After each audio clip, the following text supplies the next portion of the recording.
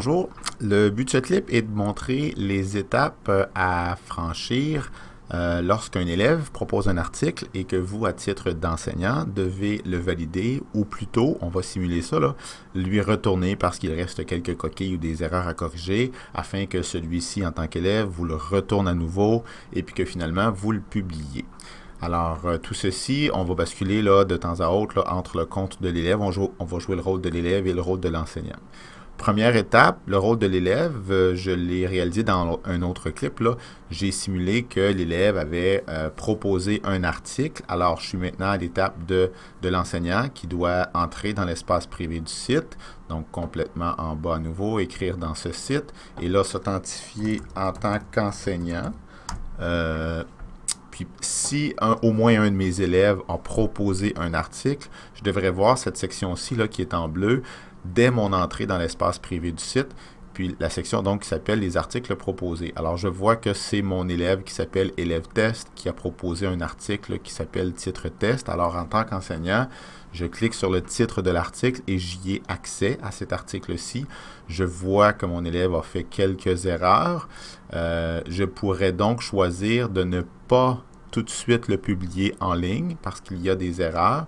Je pourrais plutôt le basculer à en cours de rédaction afin que celui-ci puisse le retrouver à nouveau lorsqu'il entrera dans l'espace privé. Euh, mais je ne veux pas tout simplement le refuser. Je vais en profiter pour... Euh, ah, on m'informe ici que Élève Test a travaillé sur cet article il y a 7 minutes. Donc, quand il y a des modifications qui sont très récentes, PIP nous avertit.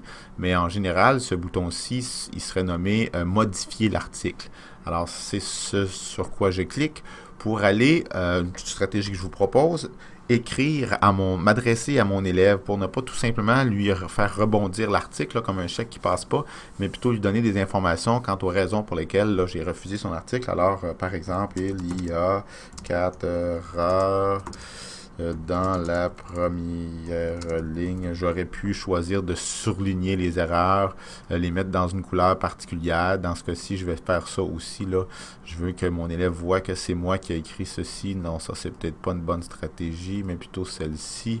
Donc, moi, je vais écrire en bleu pour qu'il distingue bien là, ce, qui, ce qui vient de moi, puis ce qui est, ce qui est de lui. C'est son article ici. Alors, ceci, ce sont mes commentaires à moi.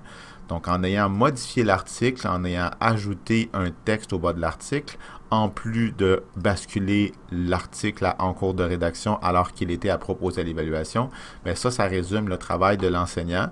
Euh, puis, ben moi, j'ai terminé mon travail d'enseignant. Je vais me déconnecter. On va euh, revenir à titre d'élève. Et vous allez voir, ce qui est à à l'élève, ben, l'élève, si j'avais accepté l'article, il n'aurait pas vu de section où il y a des articles en cours de rédaction qui sont euh, de lui. Par contre, parce que l'article a été refusé, il a rebondi comme un chèque qui passe pas, ben, l'élève revoit ceci. Ça, ça lui indique qu'il doit revenir dans son article, qu'il doit à nouveau j'ai le même avertissement que tantôt, mais normalement, ce bouton-ci, si ça faisait pas que quelques minutes là, que on travaillait dessus l'élève et l'enseignant, ben, ça serait plutôt un bouton qui s'appellerait, je le répète, euh, ça s'appellerait modifier l'article. Puis ben là, l'élève, il va effacer les commentaires de son enseignant. Merci, je dois donc trouver quatre erreurs et m'essayer à nouveau.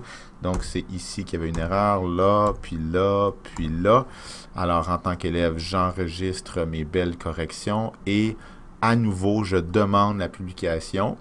Euh, et là, ben, on, m'avertit, oui, je suis certain, je vais modifier le statut de l'article. En tant qu'élève, j'ai demandé à nouveau la... J'ai proposé mon article à, l'évaluation, donc j'ai demandé la publication. Euh, mon travail d'élève est terminé. Je sors, je me déconnecte aussi pour que je puisse me reconnecter en tant qu'enseignant. Bref, vous, commencez à comprendre la gymnastique. Donc, en tant qu'enseignant, une dernière fois, ben, je vois que l'article est à nouveau proposé.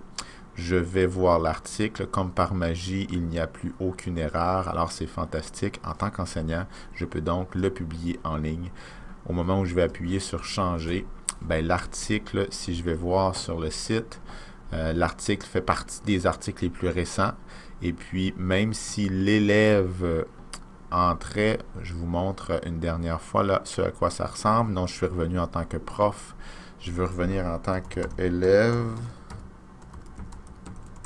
Donc, si l'élève entrait à nouveau dans l'espace privé, il ne verrait plus cette fameuse section des articles en cours de rédaction parce que son article est bien passé, il est bien publié.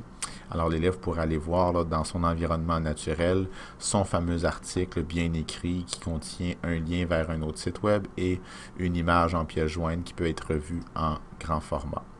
Alors, c'était le travail, la gymnastique de rebondissement entre un élève et, et son enseignant pour ce qui est des articles à être publiés sur le site web de l'école. Merci.